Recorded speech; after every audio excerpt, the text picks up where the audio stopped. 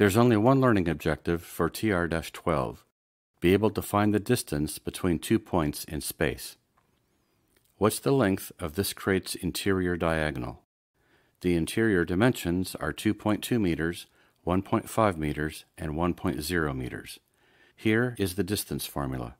After a pause, I'll show the mathematical steps, but not read them aloud.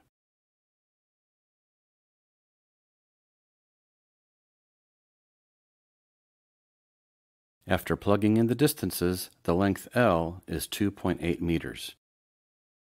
Here's one to try in your head.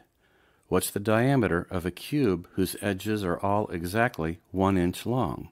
That is, a 1 inch by 1 inch by 1 inch cube. The answer is square root of 3 inches. So far, all of our examples for 3D distances have started at the origin.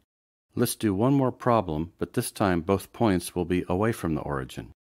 What's the distance between the points 1, comma, negative 2, comma, 3 and 9, comma, 8, comma, 7? The deltas are 8, 10, not 6, and 4. Square them, add them up, take the square root, simplify the radical. I'll link to a short video on simplifying radicals. I won't cover it here. It should be material you're already familiar with.